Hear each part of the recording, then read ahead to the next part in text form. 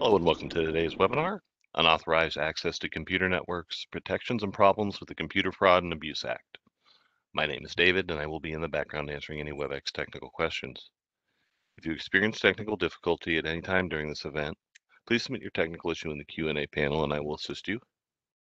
Please note that as an attendee you're part of a larger audience today. However, due to privacy concerns, the attendee list is not displayed. All attendees will be in a listen-only mode for the duration of today's call, and as a reminder, this call is being recorded. I would now like to introduce your first speaker for today, Joshua Rich. Joshua, you now have the floor. Thank you, David, and welcome everybody. Uh, my name is Joshua Rich. I am a partner and general counsel at MBHB. When I'm not serving as general counsel, my job really includes uh, being a, a technology and intellectual property litigator and counselor. With me today is Margaret Fleetwood. And Margaret, uh, as you can see, is Dr. Margaret Fleetwood, so she's uh, much more educated than I am. Um, she uh, works in patent prosecution and litigation, and uh, also technology uh, counseling and litigation.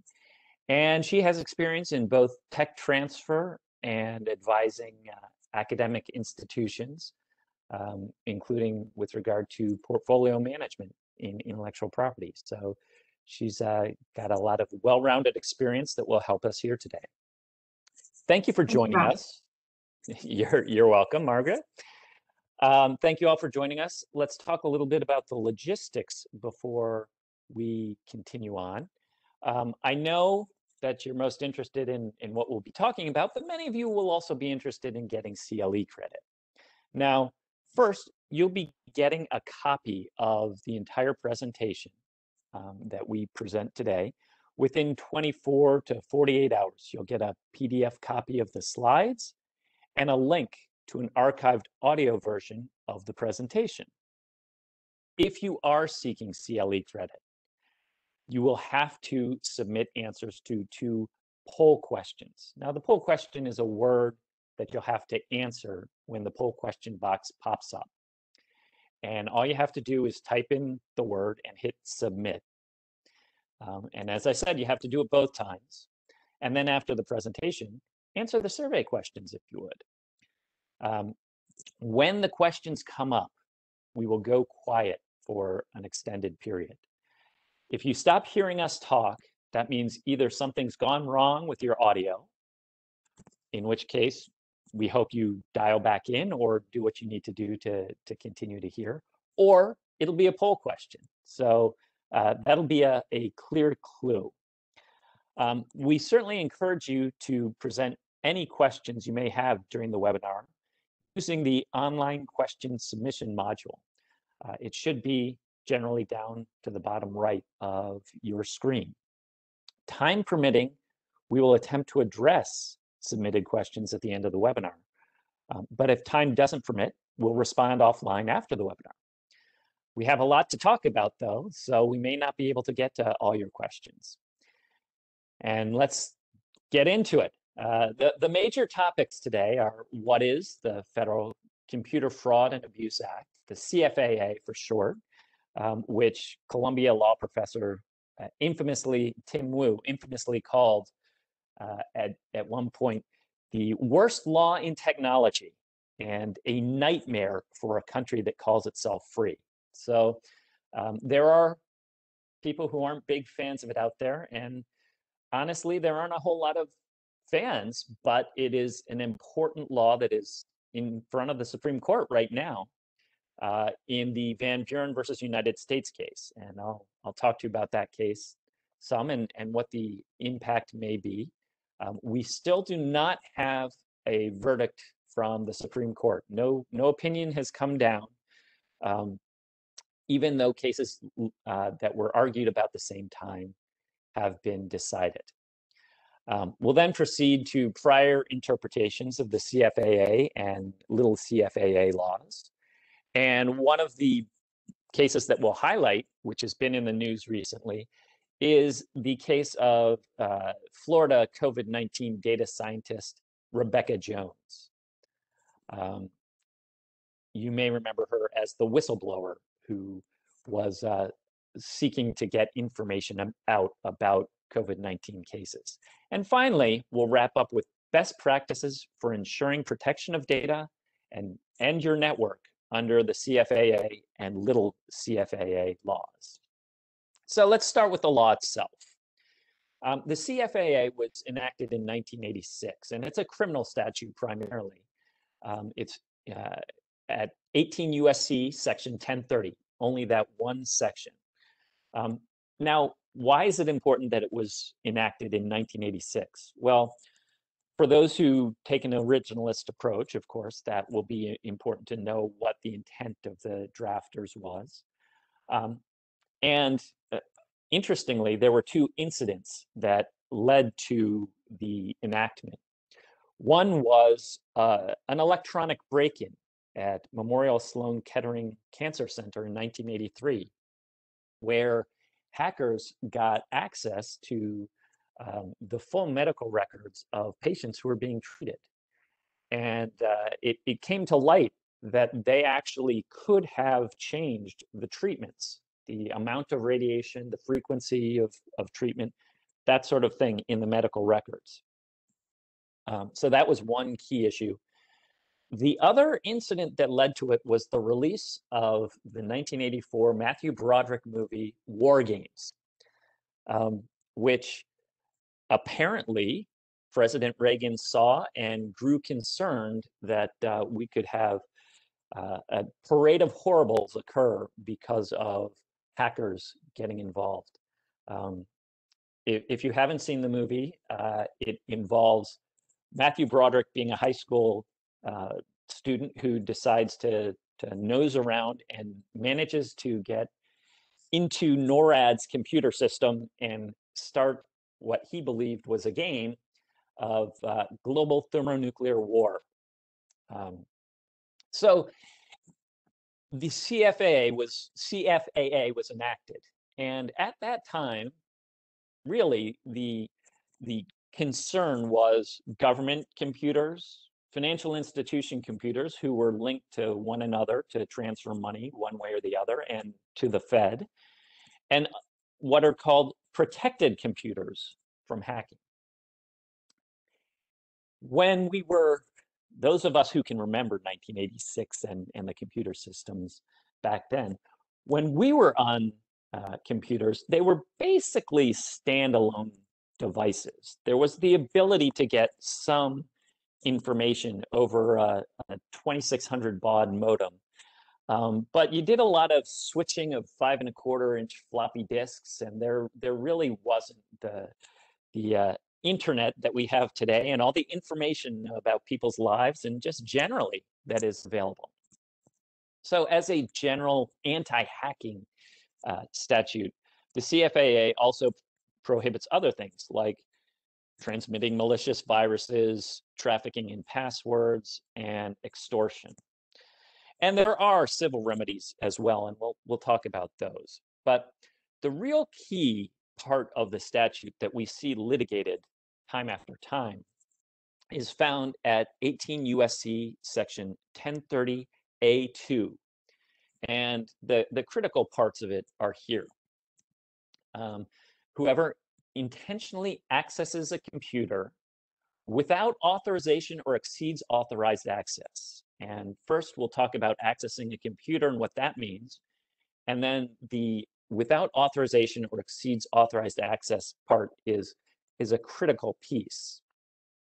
And then the three types of information that uh, you can obtain are, are the next keys. The, the first one, of course, is, is financial information. And that makes a lot of sense because that was available um, in, in private uh, networks, at least. The second one was, was government information. And the third was this information from any protected computer. And, and that's really the other key phrase that we're going to talk about. So the first First issue is, what is a computer? Now, at the, at the time, it was a desktop. And by the way, this is in 18 USC section 1030E1, uh, the definition section for a computer. But you can see where the technology was by the ending of what defines a computer. Um, an automated typewriter or typesetter, a handheld calculator, or other similar device. So what would be considered a computer today would include things like your cell phone, an iPad or other tablet, as well as a computer itself. Um, the next key issue is the without authorization or exceeds, exceeds authorized access phrase. So accessing the computer without authorization, that's somebody who's outside of an organization and gets in when they know they shouldn't be able to get in. It's generally considered the outside hacker portion of the statute. But the second part of that, the exceeds authorized access, is uh, a key question and is, is the key question in the Van Buren case that we'll discuss later. And this is defined at 18 USC section 1030E6. The term exceeds authorized access means to access a computer without with authorization. So you have the right to get onto that computer and to use such access to obtain or alter information in the computer that the accessor is not entitled so, and I'm emphasizing so because that's a key term, is not entitled so to obtain or alter. Um, and then uh, we look at, again, um, the statute and try and consider what's a protected computer, this last part. And the term protected computer actually is kind of the, the final exception that swallows the rule. Because at that time, um, we didn't have the internet in the way we do now. A protected computer was exclusively for the use of a financial institution or the United States government. All right, that makes sense. Or in the case of a computer not exclusively for such use, used by or for a financial institution or the United States government, and the conduct constituting the offense affects that use by or for the financial institution or government, fine, that makes sense as well. B, used in or affecting interstate or foreign commerce or communication, including a com computer located outside the United States. Well, that's the internet. That's anything that is out there now that is a, available uh, by getting into uh, a website. And you can see that is so much broader than even C as well, which covers uh, a computer that is that is part of a voting system. And it's actually only certain voting systems that it relates to. So basically, protected computer has expanded enormously. As I said, there is a civil cause of action under the CFAA as well as the criminal statute that is the primary purpose of the, uh, the statute. Um, any person who suffers damage or loss by reason of a violation of this section, section 1030, and this civil portion is in 1030C4A1.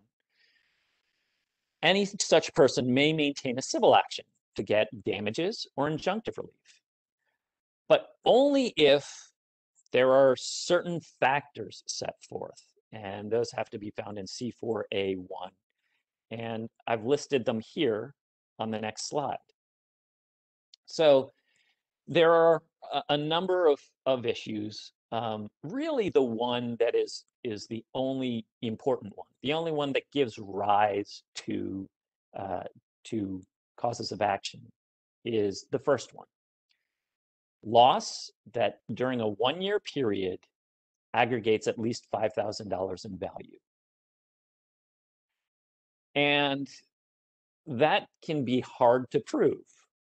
Uh, how much is it worth to you to not have false information on your website? How much is it worth to you to not have someone download profiles from a dating website, for example. Um, it it's, can be very difficult to prove. Um, but uh,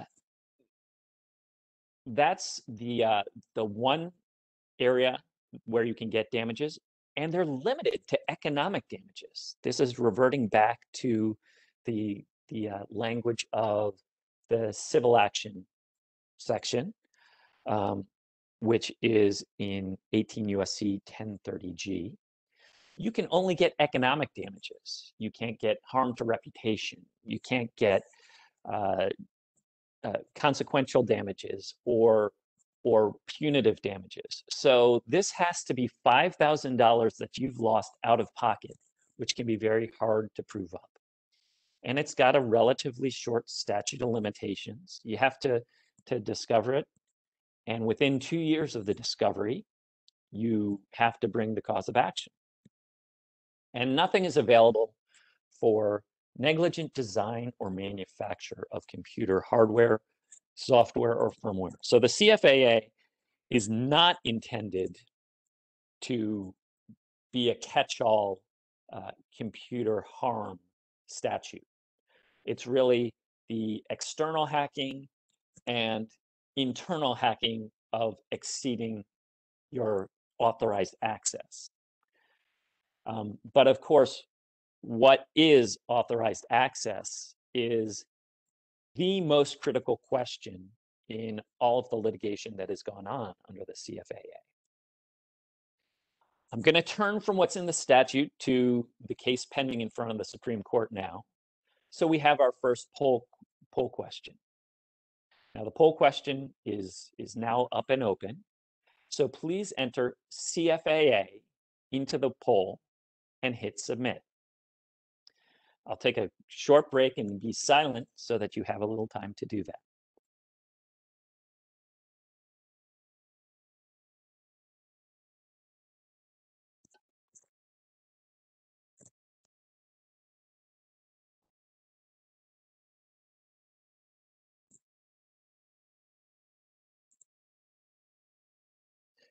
Okay, let's move on. Now the poll question box will stay open and advancing the slides will not prevent you from hitting submit, but please do so promptly. Um, let's turn to the Van Buren case, which started out as United States versus Van Buren. And this case is uh, really a, a, an amazing case. It's a, a, Southern Gothic film noir tale that uh, that can only be believed because it actually happened. Um, the cast of characters actually starts with a man in his 60s named Andrew Albo. And Albo was a, widower in his early 60s who had a penchant for, uh, for younger women, some of whom were underage, some of whom were prostitutes, and some of whom were dancers. And he had developed a, uh, a scam, a scheme where he would hire a prostitute, give her money, and then accuse her of stealing the money from him so that ultimately he wouldn't have to pay her. Um, but at least of one of the women also claimed that he had recorded and harassed her and reported him to the police. So he came to the Cumming, Georgia Police Department's attention, and um, the deputy chief of police warned all of the officers that they should stay away from Albo because he had a mental health condition and was volatile, and you had to be very careful with him. Well, Van Buren, who was a sergeant with the Cumming, Georgia Police Department, did not heed those warnings. Um, instead, after one arrest for providing alcohol to a minor, he started building a relationship with Albo. And um, he was in financial distress and knew that Albo had uh, some money he could do things with, let's say. And uh, so Sergeant Van Buren decided to ask Albo for a loan. He asked for over $15,000 for medical treatment for his son. And he said, I have shoddy credit, so I can't get a loan from a bank. Well, Albo wasn't just recording his interactions with prostitutes, he actually was recording his interactions with, with Van Buren as well. And he, uh, he took a recording to a detective in the Forsyth County, Georgia Sheriff's Office and said, I'm getting shaken down, um, and complained about Van Buren's actions. And the FBI and GBI, Georgia Bureau of Investigation, um, got wind of this and they decided to set up a sting. First, um, they they had Albo go to Van Buren and say, "Hey, if you help me move drugs, I'll give you money." Well, Van Buren wasn't willing to go that far. But then uh, Albo went to Van Buren and said, There's a dancer at a strip club that I'm dating, and I think she may be a prostitute. Or maybe she's an undercover police officer. Can you run her plates for me? And uh, Albo provided Van Buren $5,000 and uh, and said, "This isn't all of it." And Van Buren said, "This is just a loan. I'll pay you back." Um, but Albo said, "No, no, that's okay." Um, and Van Buren didn't actually search at that point. Albo had another interaction with uh, with Van Buren and gave him a thousand dollars, saying, "I know I'm supposed to give you more than this, but this is what I have at this point."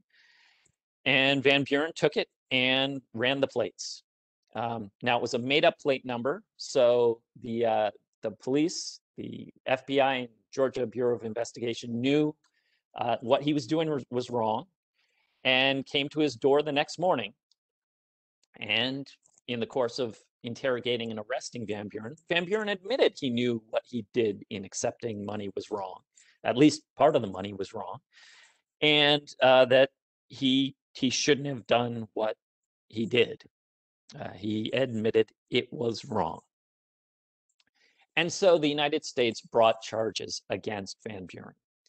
Um, and uh, they brought charges on two bases. One is honest services fraud, and the other was felony computer fraud under the CFAA. That's this accessing the information um, and exceeding his authorized use. Van Buren was convicted on both counts and appealed on both counts. On the honest services fraud, um, the Supreme Court has recently cut back what is uh, considered honest services fraud um, in a case that involved the governor of Virginia. Um, and the jury instructions, therefore, were, were uh, incorrect, erroneous, and the 11th Circuit remanded the case for a new trial. Van Buren argued that the CFAA conviction was also improper based on a lack of evidence and that he should that the jury should have been instructed on misdemeanor CFAA violations. Now, to be a misdemeanor instead of a felony, there has to be no private financial gain. And this was all about private financial gain. So the 11th Circuit said that was an improper basis for him to uh, to get reversal. It, they they just quickly dealt with it. But they treated the insufficiency of evidence argument as a request to overrule uh, the 11th Circuit's precedent from United States versus Rodriguez, which was a CFAA case in 2010, um, where a Social Security Administration employee had gone into the database to find information on his ex-wife and his former in-laws and the guy that his ex-wife was dating and uh, and to harass some of those people. And the 11th circuit said yes the employee had within the scope of his employment the right to access this database. But he had the right to access it for job purposes. And what he was doing was not within the scope of his employment, and therefore it exceeded his authorized access. So it wasn't that he he didn't have a password that could get him into that database, that type of internal hacking. It was access for an improper purpose. So the key question in Van Buren was, uh, is it a violation of the CFAA if a person is authorized to access a protected computer, something on the internet, but does so for an improper purpose? The 11th Circuit said, look, we recognize that there's a split in the circuits, but we're compelled to follow our prior panel decision. And it did raise the concerns that uh, that had been raised in certain of those circuits, uh, the second, fourth, and ninth circuits primarily, and uh, most notably in the Ninth Circuit in a decision in the United States versus Nosal, N-O-S-A-L, uh, that appears at 676 F 3rd 854. It was an en banc case decided in 2012, um, where uh, then Judge Kozinski listed a parade of horribles that could come about um, because of accessing something for an improper purpose. What if you're at work and you decide, I want to go on a website and check the sports scores, or uh, take part in an NCAA tournament pool, or go online shopping, or even search for a new job? Most workplaces prohibit personal interactions on the internet uh, within the scope of the use of a work computer. And most people still do it, even though it's a violation of the, the workplace rules. But there are a lot of things that happen that are violations of the terms of service uh, uh, of websites. Um, what about a dating site where you change your age or your height or weight or put a picture that's maybe not of you? People have been known to do those things and they violate the terms of service of the website. Should that be a felony? Should that be a, a crime at all?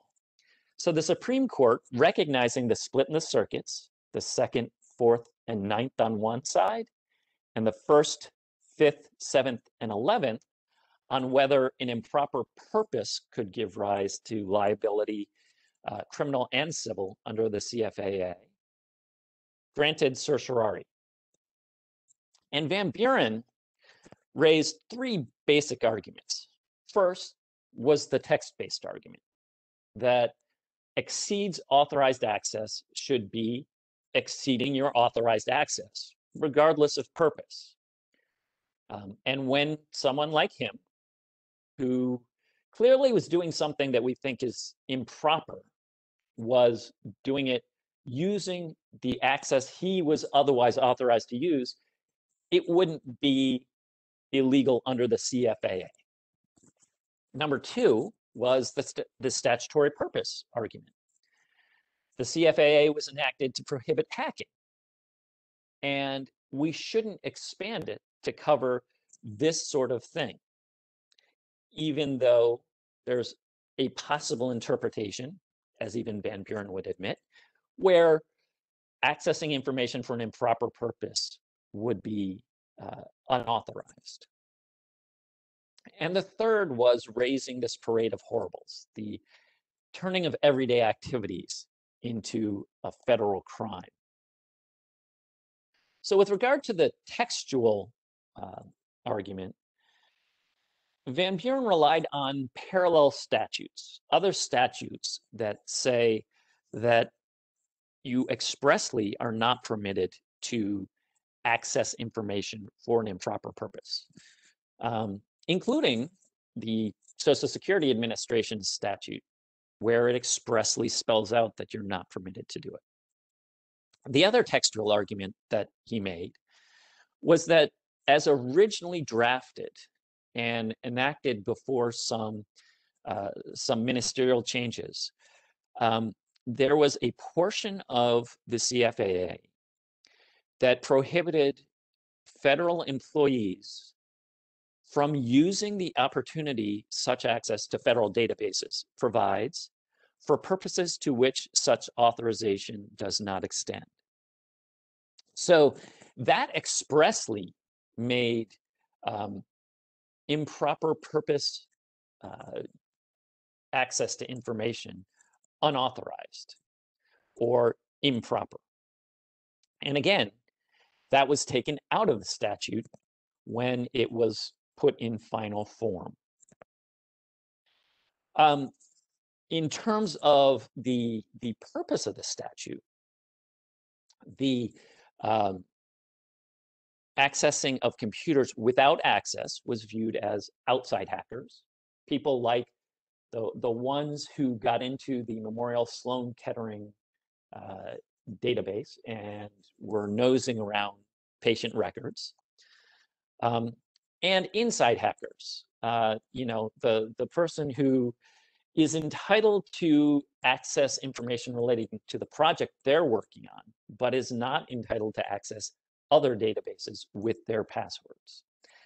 And the argument that that uh, Van Buren raises is, look, there are other laws, other state uh, civil common law uh, causes of action, and both statutory and common law misappropriation claims that would cover access for improper purposes. Admittedly, it's not a great fit.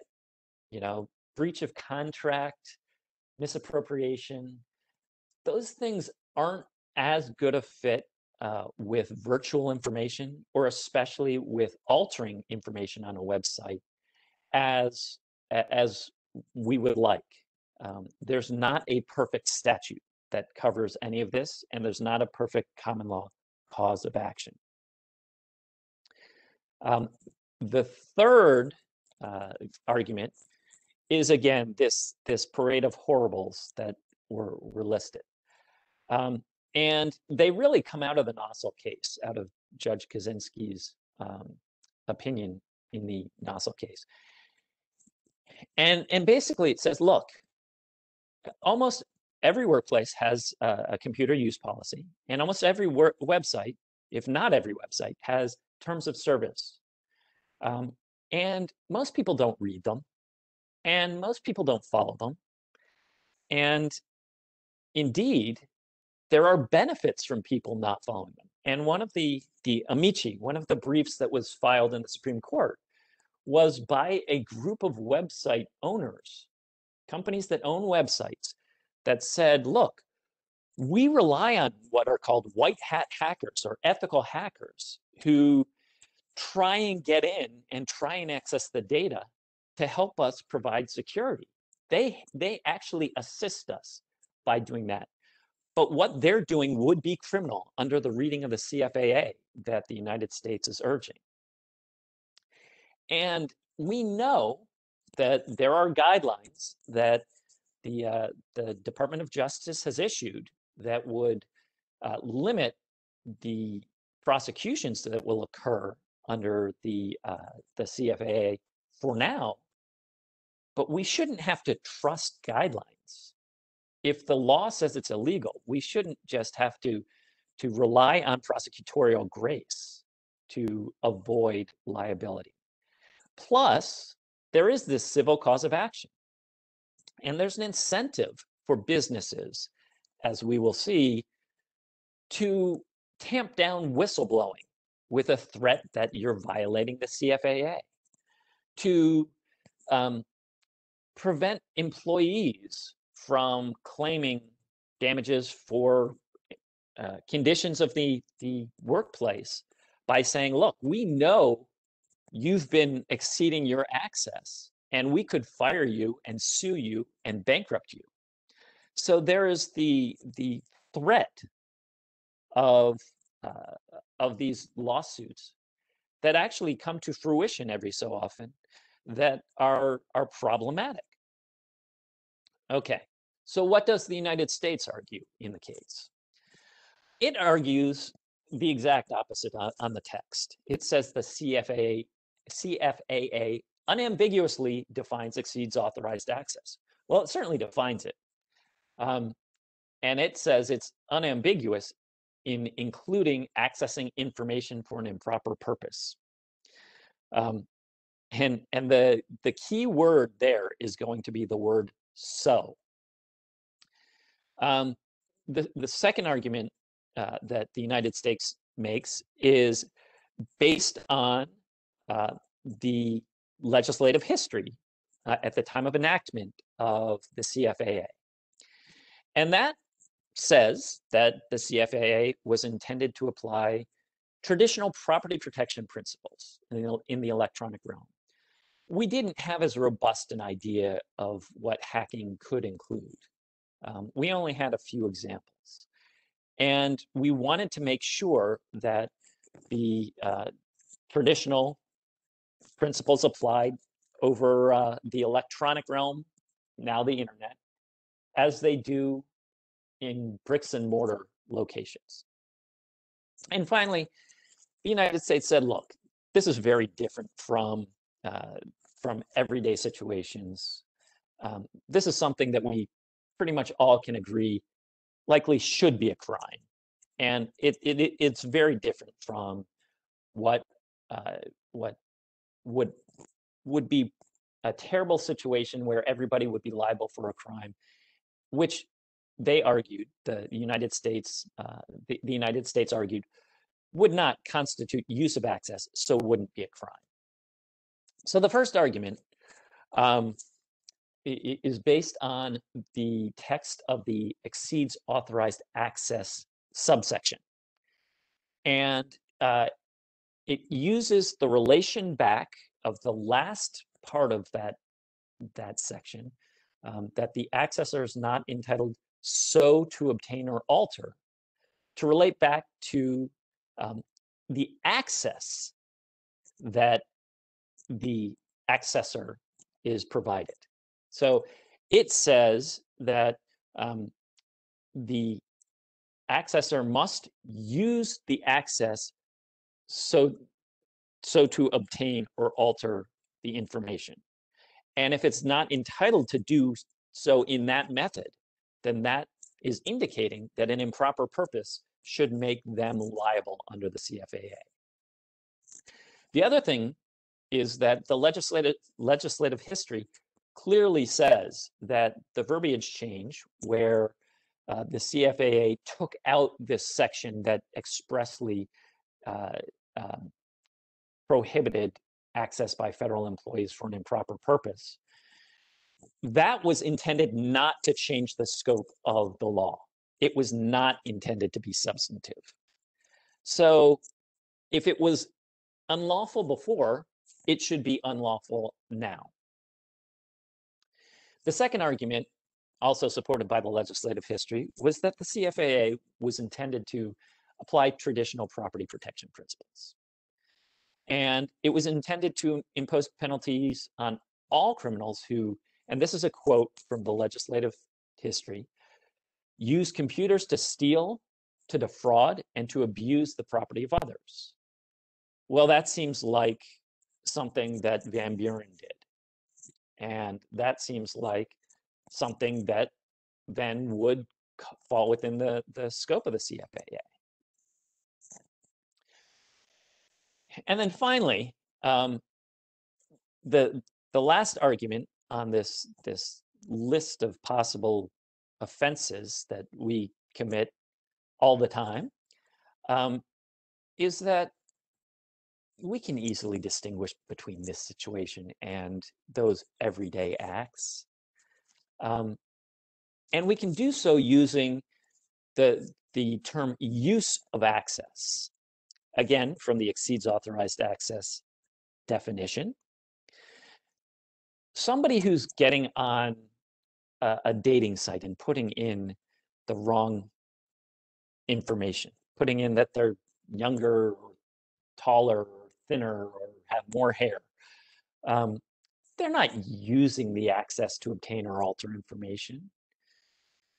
And the other thing that that um, the government pointed out is that the cases that Van Buren cited as being evidence of a concern about uh, this situation, none of them ended with criminal or civil liability. Now we'll talk about some of them and, and talk about how that's a little little too fine a point to put on it um, because of course there's the threat and there are there are consequences when a claim is brought against you. So that's what the briefing said and then the the argument uh, that occurred um, in november um, uh, occurred in a very different format from pre-pandemic arguments. Uh, if you haven't heard an oral argument or haven't read a transcript in the Supreme Court, um, they proceed very differently these days than they did before, when it was a bit of a free-for-all and the questions were justices kind of often trying to advocate on behalf of one party or the other for other justices.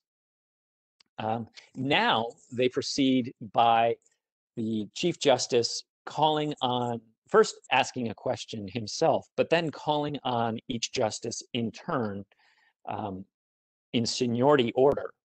Uh, it, it, would be too much of a free for all if, if uh, they were all independent and online and trying to talk over one another. Um, but there were quite a few issues that the the justices raised, and it it seemed like they were they were a bit split. Um, one thing that came out clearly in the uh, the argument was there's no good analogy here. Neither side has a really good analogy that explains what we should or and should not uh, prohibit. Um, the the United States, the government argued that authorization uh, was critical. And it did it throughout the questioning. Um, and, and said authorization means being granted specific individualized permission. It doesn't mean terms and conditions of a website. It doesn't mean an employment policy. So that was uh, responsive to the parade of horribles. But there was also a contrary parade of horribles that was raised that there are things like this very situation that may not end up being criminal when everybody knows that they should be that they they harm the trust in government that they create incentives that are all wrong. And uh, for example um, you know Justice Alito and Justice Barrett suggested they were having trouble trying to find the balance, that they, they didn't come to a clear decision based on the briefing. Um, Justice Sotomayor seemed in Van Buren's camp, as actually did Justice Gorsuch, who was concerned about the trend toward overcriminalization, including uh, the the other count that Van Buren was charged under. Um, and Justice Kagan was concerned about what so meant and, and the critical meaning of so in the definition of uh, exceeds authorized access. Um, it, it, doesn't break down on, on traditional conservative and liberal grounds. Um, so I think we're going to get a, a, split decision most likely because it's been quite a while in in reaching the decision. And um, i think we're going to get some some uh, interesting bedfellows in the decision. Um, i'm hoping to get a decision any day now. Um, but while we're waiting that we can talk about the some additional cases. And really the case that has caused the most consternation um, and, and probably the, the biggest outliers is the United States versus Swartz case. It was a case brought against Aaron Swartz, who um, was a, a, young savant who is viewed as one of the founders of Reddit and uh, was a brilliant computer scientist who also believed uh, very strongly in sharing information as broadly as possible. And um, he went. Uh, he was he was a fellow at uh, at Harvard, and um, had access to a database of of articles called JSTOR um, during that time because of his his service as a uh, a fellow at Harvard. And he went on the the MIT grounds right by Harvard, which is an open campus and allows everybody on it, and has open access to JSTOR. Went into a closet, plugged in his laptop, and started downloading thousands and thousands and thousands of articles.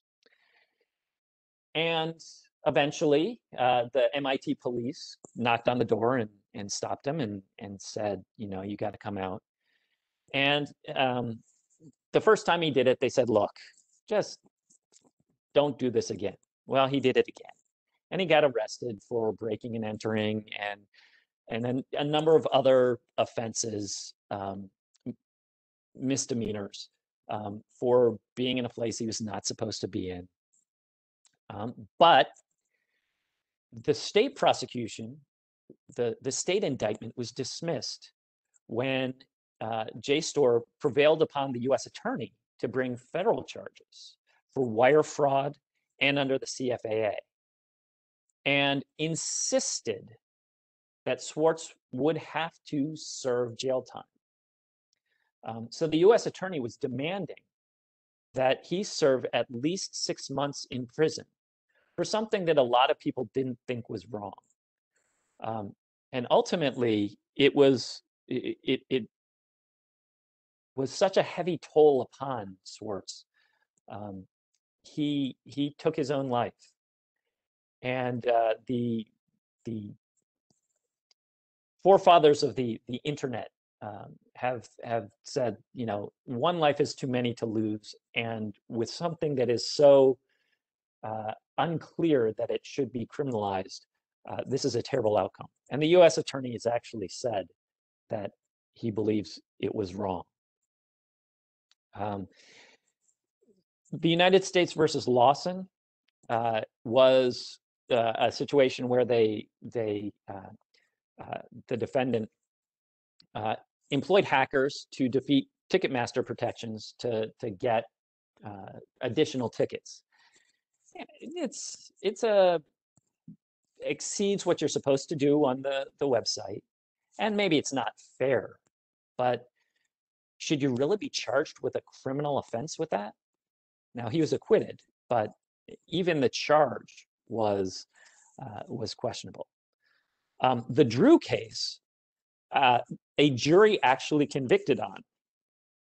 It was it involved creating a, a fictitious MySpace profile, and the judge, the district court judge, had to acquit post trial, and said this is not what the the statute should cover.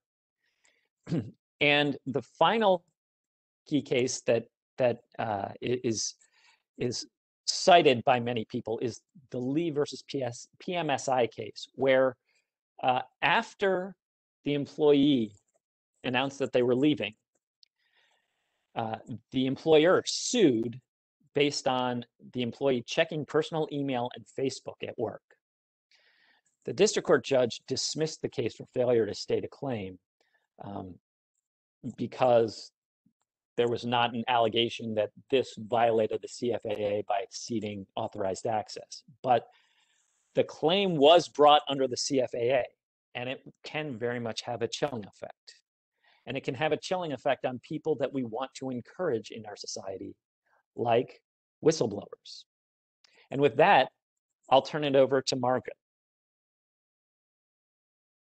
All right, good morning, all. So I have the COVID topical part of this presentation um, concerning Rebekah Jones. So at the start of our story, which has a lot of political and personal intrigue, um, Jones was a data scientist employed by the Florida Department of Health. Um, this story has a lot of interesting personal sidebars, but the fact pattern I'll show you today concerns the topic at hand. Um, she was a critic of the COVID-19 data supplied to the public by the state, and she claimed in public that the data scientists were pressured to fix the numbers to make the argument to reopen Florida. You may recall in the news, Florida was one of the states that was sort of at the leading edge of reopening after the initial COVID-19 outbreak. Uh, Jones claimed that the night before the first phase of reopening, she was asked to actually delete and hide data from the public.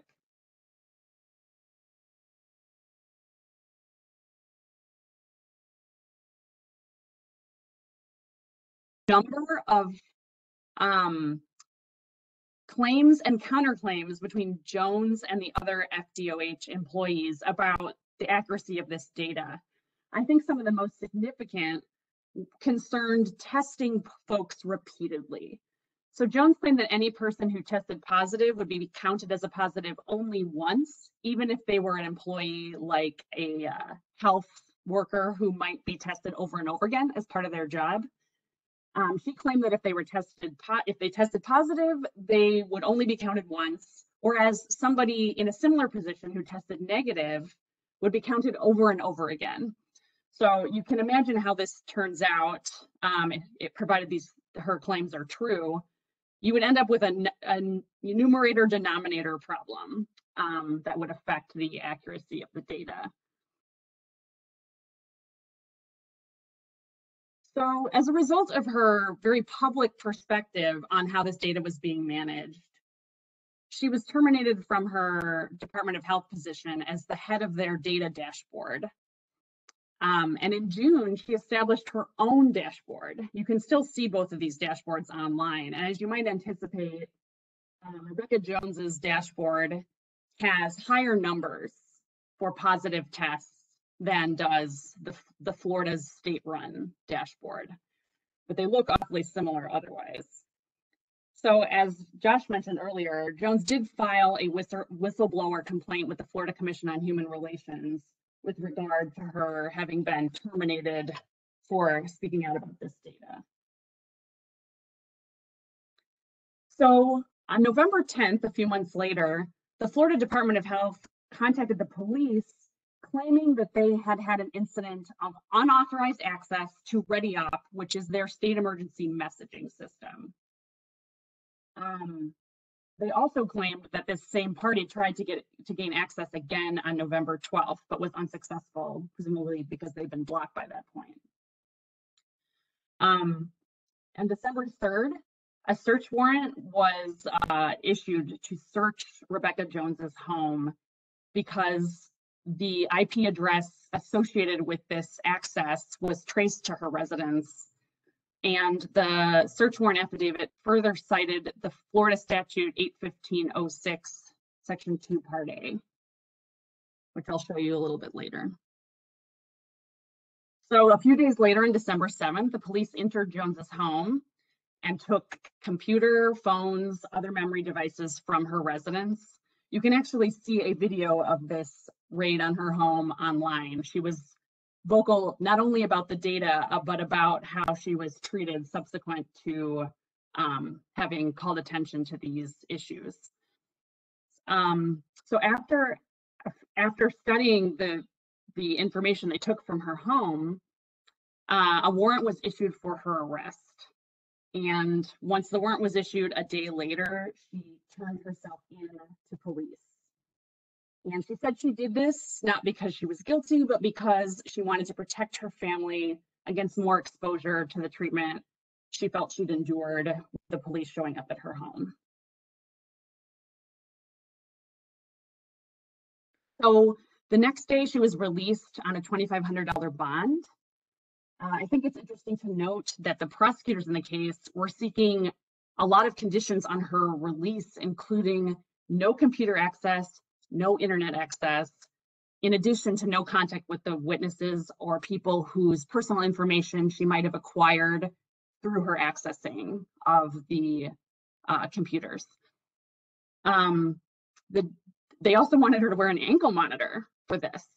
The judge denied the blocking of computer internet access and the issuance of an ankle monitor um, Jones's attorney claimed that requesting these factors was a little bit like killing a gnat with an axe. He clearly thought it was overkill in this situation. So what statute is at issue and Jones is being charged? So it's Florida Statute 81506, as I said. Offenses against users of computers, computer systems, computer networks, and electronic devices. A person commits an offense against users of computers, computer systems, computer networks, or electronic devices if he or she willfully, knowingly, and without authorization or exceeding authorization accesses or causes to be accessed any computer, computer system, computer network, or electronic device with knowledge that such access is unauthorized or the manner of use exceeds authorization. So I think what's interesting to point out here is that the crime occurs at the point of access. There is no downstream activity with that access required. The access is the operative verb there. I think it's also interesting to look at the other sections of the same statute, which have arguably much stronger words like disrupts, destroys, injures, contaminant, um, surveillance. Um, but part A is merely the access.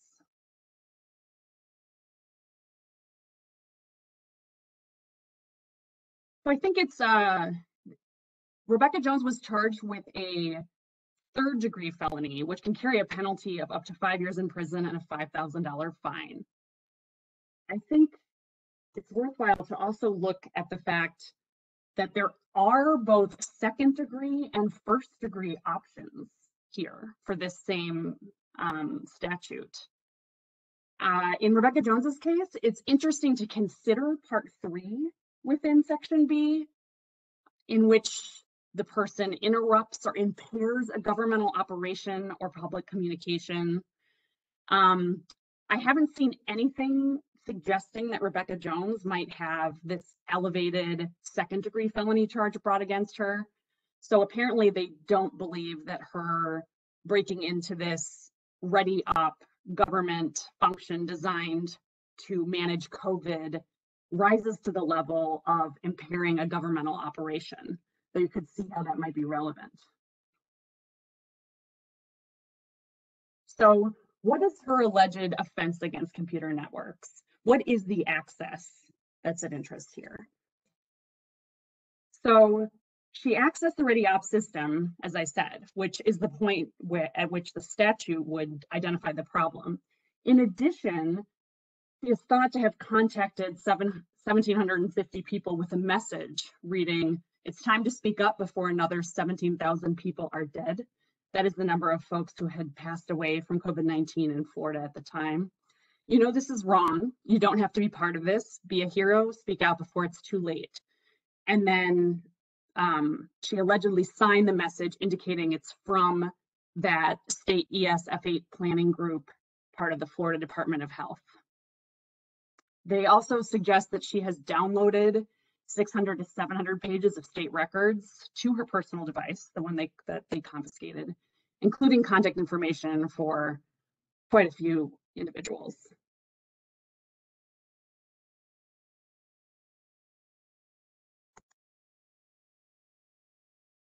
Oops. So this is the part where um, a lot of what Josh was talking about gets really interesting in the Jones case. How was the alleged unauthorized access accomplished? So from the arrest warrant affidavit, which you can find publicly, um, this, the affidavit states the group state ESF8 planning is utilized by multiple users. Once they are no longer associated with ESF8, they're no longer authorized access the multi-user group. And all users assigned to state ESF8.planning share the same username and password.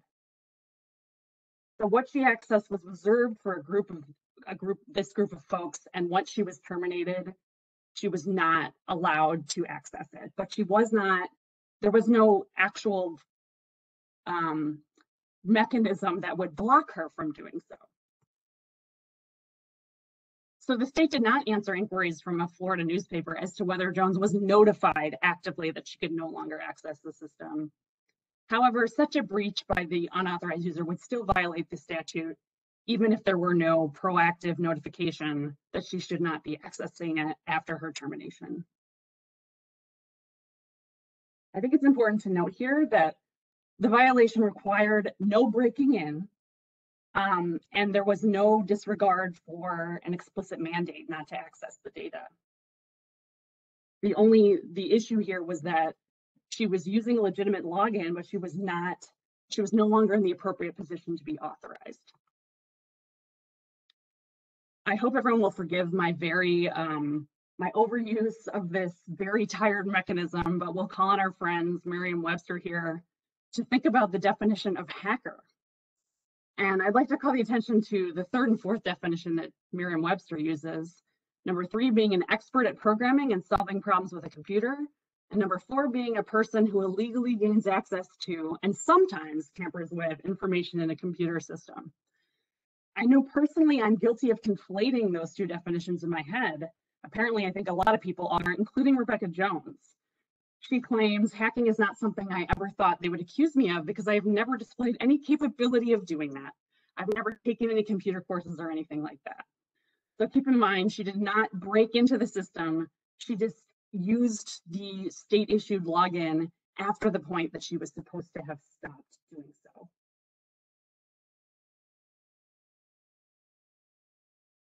So as Josh was discussing, there the law does not make a distinction between the, the process of hacking in the way that most people think of it, which involves a breaking in, and merely gaining access to the to the information when one is not supposed to, or as he was also discussing, when one should not be using it for those purposes.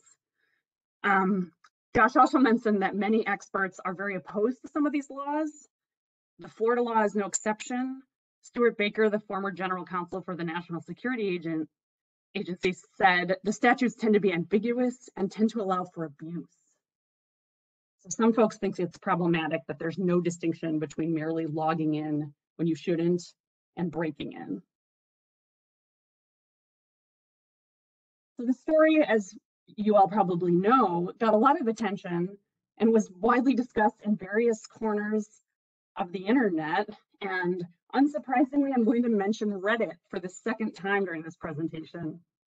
Um, some Redditors apparently found that not only were the username and password for the Florida Department of Health site used by the entire group, um, but they were also publicly available if you knew what to look for on the Florida Department of Health website. Apparently, uh, you could download a PDF that had this information, not redacted, and you didn't need to enter any credentials to access this PDF if you knew what you were looking for. So Ars Technica reported on this situation under a tag, which I thought was humorous, worst practices. So we will discuss best practices in just a moment, but I want to call your attention to our next poll question please enter the term CFAA into the poll and hit submit. I will go silent for a bit to allow you to do that. And Margaret, I'll just break in and tell you the irony that we all know about the Rebekah Jones case is when the arrest warrant was issued, she had to drive back from out of state. She was living in Virginia and report to be arrested, where they tested her for COVID and she tested positive. Yep lot of interesting twists and turns to this story for sure.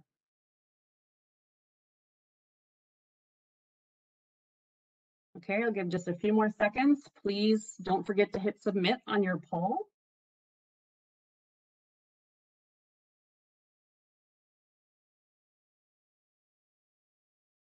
Okay,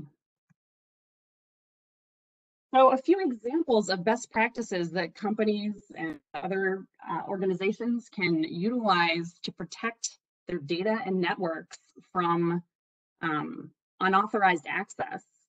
Uh, I'm dividing them sort of into the machine elements and the human, human elements. I find that to be an easier way to think about it than some of them. So for the machine element, there are a lot of basics that most folks probably know about using a firewall and a virtual private network, don't use old unsupported versions of software that might not have security patches available anymore. Um, you keep up with the security patches for your up-to-date software. That's important. ensure anti-malware protection like virus scans. There are also some sort of next level efforts that folks can make, including encrypting network traffic inside the system, as well as the data at rest inside the system, using multi-factor authentication for users, um, and then maybe the highest level of going to trouble might be whitelisting, uh, which is exactly what it sounds like if folks haven't heard of it. It's the opposite of blacklisting in which the only things that are allowed are IP addresses and applications that you've explicitly approved. So it's not about leaving out the bad guys, but rather letting in a discrete number of good guys. So that's that's another thing you can do if you're incredibly concerned about the data. As you can imagine, it, it's a little bit hard to manage in case you need a new application, for instance, but it is one of the safest ways to protect the system. Uh, and then as, as relates to the CFAA and the other laws we've been discussing, there's a human element to all of this, obviously. Um, another practice that, that you can use is to implement principle of least privilege for access. That means not giving any users access to more than they need to perform their job function. Um, it require employees to use individual passwords. A lot of people use the mantra longer is stronger and change them frequently. I, I know we all struggle with those constant needs to update passwords. It's modern life and I'm still struggling with finding a way to manage it, but it does seem to help uh, keep folks out of data they're not supposed to access. And another one that I know a lot of folks see at work are suspicious emails and training employees to delete suspicious emails without opening them. Uh, a recommendation here is to designate a quick, quick responding contact point who can help identify phishing scams, as well as spread the word and provide cover for employees. And the reason I say that is because a lot of these phishing scams pose as a superior asking a more junior employee to give them some information or perform a task for them that will compromise the system. And the reasoning employees usually give for complying with these requests is that they thought their boss told them to.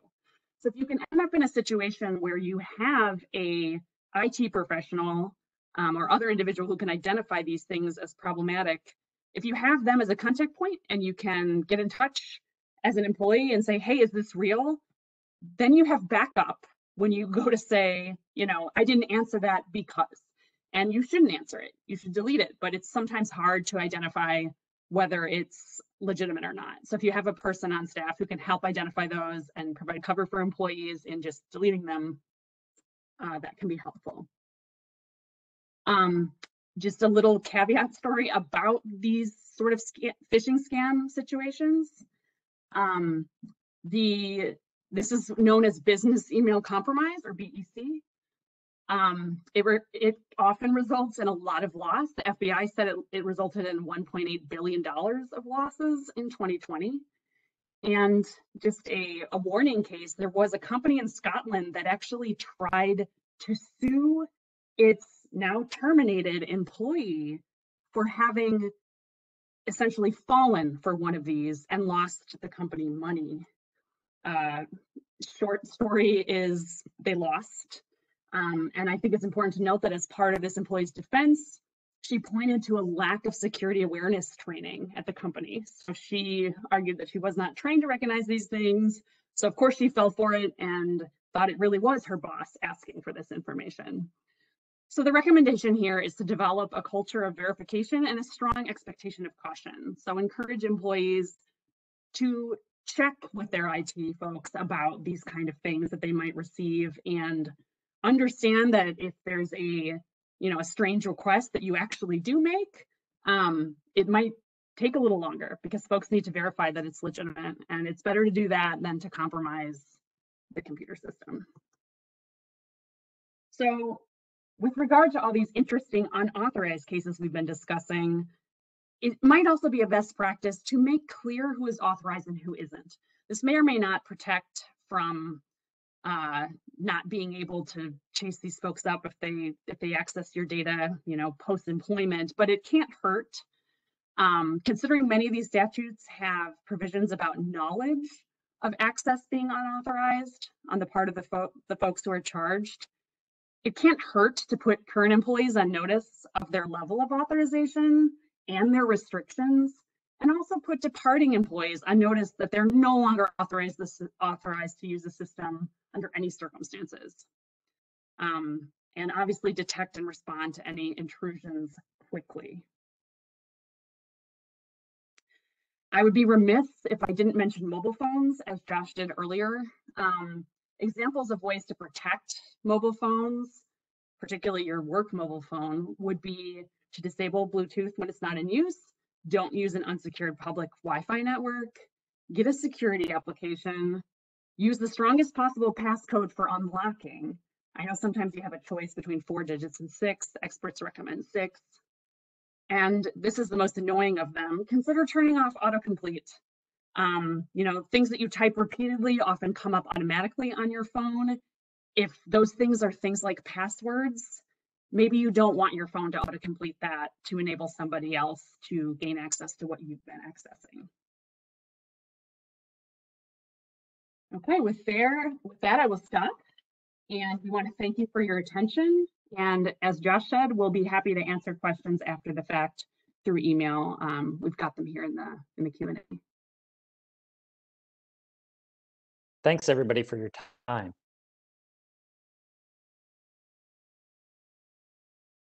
That doesn't conclude today's presentation. Thank you and have a wonderful day.